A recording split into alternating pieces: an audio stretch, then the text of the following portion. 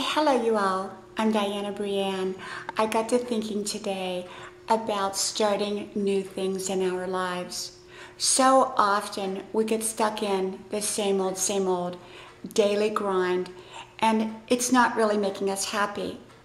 When we begin to look at what's not making us happy, often that is the first step towards change change towards what does make us happy.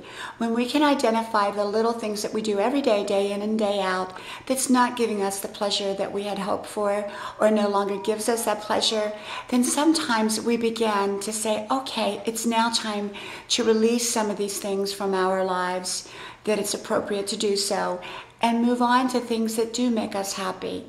Often we just need to make little changes in our lives in order to create the big changes that we want, the happiness that we want. So consider beginning to identify the things that no longer make you happy so that you can identify the things that will make you happy. From my house to yours, God bless you, and I'll talk to you soon.